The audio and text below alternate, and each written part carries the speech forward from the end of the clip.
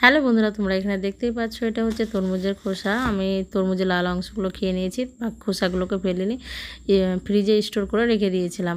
তোমরাও কিন্তু ফেলবে না, এইভাবে স্টোর করে রেখে দেবে। এই ভিডিওটা ওই বাড়িতে থাকতে আমি করেছি, কিন্তু নতুন বাড়িতে আসার পর থেকে এত ব্যস্ত হয়ে গেছি ভিডিও এডিট করা আর ডাবলিং করার আমি সময় পাচ্ছি না।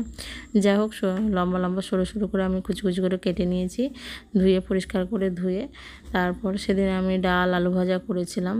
তারপরে গোটা লঙ্কা আর গোটা জিরে দিয়ে খুব সুন্দর করে তেলের মধ্যে দিয়ে এই তরমুজের খোসাকে তেলে দিয়ে দিলাম, নাড়াচাড়া করে ঢেকে দিলাম।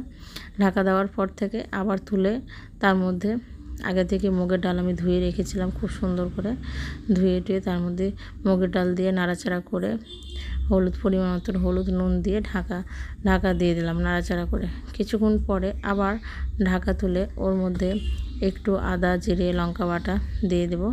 আর টমেটো কুচি করে রেখেছিলাম। টমেটো কুচি দিয়ে দেবো। আর সামান্য মশলা বাটি ধুয়ে জল দিয়ে দিলাম।